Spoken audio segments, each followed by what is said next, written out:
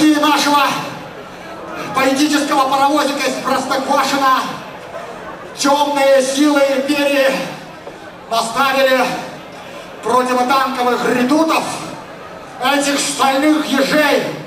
Но благодаря вашей поддержке, благодаря вашему волшебному зову и терпению мы преодолели все преграды, и мы снова с вами, и мы не голодрамы,